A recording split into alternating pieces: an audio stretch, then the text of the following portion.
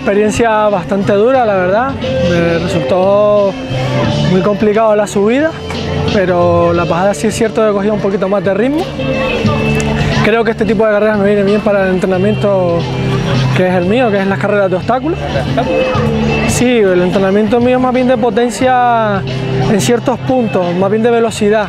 Esto es una carrera de constancia, de cabeza, de llevar, saber llevar los ritmos, donde puedes atacar, donde puedes recuperar. Para nada, los niveles que se, que se llevan aquí son muy grandes comparados con una carrera de Spartan. La carrera de Spartan suele ser una carrera de cross, tiene subidas, pero no son tan pronunciadas como esta ni tan largas, por supuesto.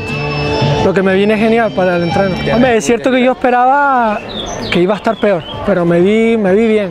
Dentro de lo que cabe, fue un buen tiempo. Aquí el trato es genial, siempre preocupándose por ti, tienes todos los habituallamientos perfectos, la verdad que es genial.